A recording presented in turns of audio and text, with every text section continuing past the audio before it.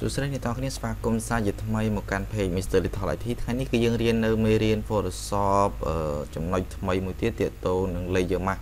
អូខេឥឡូវយើងចូលមកកាន់ Photoshop ហើយយើងបង្កើត page ថ្មីមួយមានដាក់ A4 ហើយក្រដាស់ផ្ដេក OK ហើយបន្តមកទៀតមាន add រូបមួយមួយដើម្បីយើងយកមកឧទាហរណ៍ទាក់ទងនឹង layer mask របស់យើង OKអូខេនេះ admin យករូបនេះមក គេអញ្ចឹងយើងអាចទាញរូបនេះដាក់ចូលទៅក្នុងกระดาษថ្មីដែលយើងបានបង្កើតឥឡូវយើងបានបង្កើតกระดาษមួយហើយហើយ admin ឥឡូវបរិចឲ្យធំតិចមកគេអឺសម្រាប់ការ layer mask ហ្នឹងគឺមានន័យថាការសម្រាប់សម្រាប់ការលុបលុបដែរគេ layer mask គឺ EC មានន័យថា EC ទាក់ទងនឹងការលុបការអីចឹងទៅប៉ុន្តែបើសិនជាយើងអត់ដឹងឥឡូវយើងមាន layer មួយហើយយើងអត់ដឹងទេយើងចង់លុបរូបនឹងមួយជំហៀងឬមួយក៏លុបកន្លែងណាដែលយើងចង់បានអញ្ចឹង យើងអាចប្រើអីគេយើងអាចប្រើ eraser tool មែនទេអូខេនេះគឺ eraser ហើយយើងយកមកលុបអញ្ចឹងទៅអូខេយើងយកមកលុបនេះយើងយកមកលុបបែបនេះធ្វើអញ្ចឹងក៏បានដូចគ្នាប៉ុន្តែឧទាហរណ៍ដែលយើងចង់បែកមកវិញឬមួយក៏យើងបិទកុំព្យូទ័រយើង save file នឹងហើយហើយយើងចង់បានរូបនឹងដូចដើមវិញយើងត្រូវធ្វើម៉េចគឺយើងអាចអាចធ្វើអីបានទេដោយសារតែរូបនឹងយើងបានលុបបាត់ទៅហើយអញ្ចឹងបើសិនជាយើងចង់ធ្វើវិញលុះត្រាតែយើងទាញរូបថ្មីយកមកចូលហើយយើងមកធ្វើម្ដងទៀត អញ្ចឹងនៅក្នុងកន្លែងនេះយើងយើងត្រូវរៀនអំពីការបង្កើត layer mask អូខេ layer mask គឺនៅត្រង់កន្លែងនេះឥឡូវយើងឈលលើ layer ហើយយើងចុចកន្លែង layer mask កន្លែងនេះគេដាក់ថា add layer mask នៅពេលដែលយើងចុចបានបែបនេះវានឹង load ឲ្យចូលបែបនេះគេនេះគឺមានន័យថាយើងបង្កើត mask រួចហើយពណ៌សហើយយើងយកមកគូហើយយើងយកមកគូហ្នឹងគឺយើងអត់មានយកប្រាស់ហើយយើងយើងយក eraser យកមកគូទេគឺយើងយក brush tool យកមកគូនេះគឺ brush tool គេ brush tool អក្សរ B សខាត់ brush tool អញ្ចឹងនៅត្រង់កន្លែងនេះវាមាន foreground ហើយនិង background foreground គឺនៅខាងលើ background គឺនៅខាងក្រោមអញ្ចឹង foreground យើងត្រូវចំណាំថាយើងត្រូវឈរលើពណ៌ខ្មៅហើយ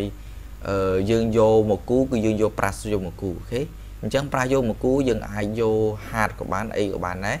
ឡូវមានយក hard ហើយកន្លែងនេះ opacity យើងយក100 flow យើងយក100អញ្ចឹងនៅពេលដែលយើងចុចលុបអូខេចុចលុបឃើញបានដូចគ្នាគឺលុបដូចគ្នាលុបដូច eraser tool អញ្ចឹង គេលុប eraser tool អញ្ចឹងប៉ុន្តែយើងត្រូវចំណាំថាយើងឈរនៅលើកន្លែងនេះគឺយើងឈរនៅលើពណ៌ខ្មៅពណ៌ខ្មៅគឺមានន័យថាលុបចំណែកពណ៌សគឺមានន័យថាយើងយកមកវិញអូខេឥឡូវយើងលុបគេយើងលុបបានហើយអញ្ចឹងយើងមើលនៅត្រង់កន្លែងនេះគឺវា load នៅត្រង់កន្លែងនេះគឺពណ៌ខ្មៅមែនទេគឺពណ៌ខ្មៅយើងគូទៅវាឃើញផ្ដាមចេញពណ៌ខ្មៅអញ្ចឹងមកអូខេគឺគឺគូផ្ដាមចេញពណ៌ខ្មៅប៉ុន្តែឧទាហរណ៍ដែលយើងចង់បានរូបមកវិញយើងអត់ចាំបាច់ចុច control z ឬមួយក៏យើងបិទកុំព្យូទ័រអីក៏ដោយយើងអត់ចាំបាច់ ចូលមកវិញពិបាកធ្វើម្ដងទៀតទេហើយកន្លែងនេះក៏ដោយយើងអត់ចាំបាច់ចុច control set ដើម្បីមកវិញអញ្ចឹងទេគឺយើងគ្រាន់តែកន្លែងនេះគឺយើងយក brush tool យកមកគូដដែលគេប្រើ brush tool ដដែលប៉ុន្តែយើងយើងយកពណ៌សវិញយើងអាចចុចអក្សរ x ក៏បានឬមួយក៏យើងចុចអាកន្លែង switch នឹងក៏លើក៏បានដែរឬមួយក៏យើងចុចខាងលើយើងដូរពណ៌ក៏បានដែរយើងដូរពណ៌ពណ៌សវិញមកគឺមានតែយើងបើកមកវិញហើយអូខេ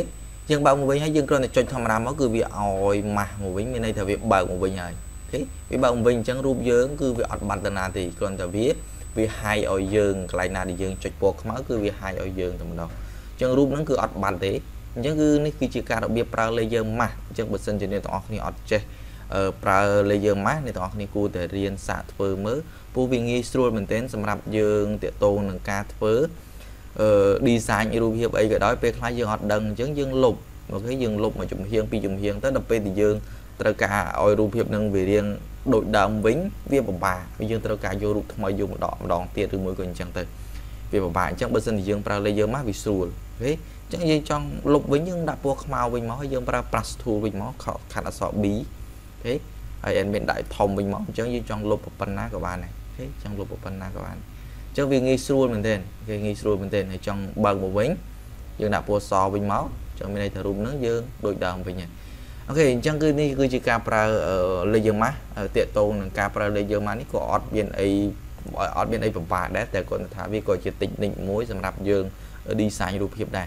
គេអរគុណច្រើនសម្រាប់ការទស្សនាហើយយើងនឹងជួបគ្នានៅមេរៀនក្រោយសង្ឃឹមថាអ្នកទាំងអស់គ្នានឹងចូលចិត្តនឹងមេរៀនមួយនេះ